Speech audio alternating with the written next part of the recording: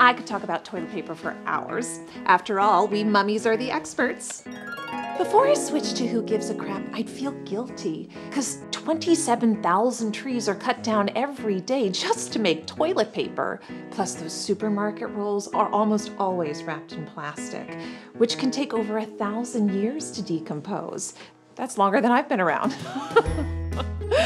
I guess I just worried that an eco friendly toilet paper would suck, that it'd be rough, or that my fingers would poke through. But Who Gives a Crap is super comfy. And it was rated the number one most sustainable toilet paper by the Natural Resources Defense Council. It's the best. Just listen to some of these reviews. This is the best toilet roll. Uh, last my family ages. The wrappers are so cute. Finally, an eco-friendly product that isn't scratchy. And there are thousands more. Now Who Gives a Crap is the only thing I'll use. The 100% recycled rolls are perfect for every day. Feels good on my skin.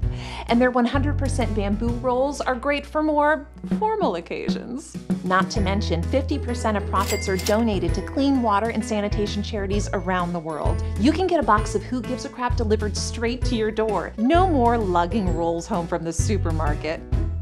Weak arms. Make the switch today at whogivesacrap.org.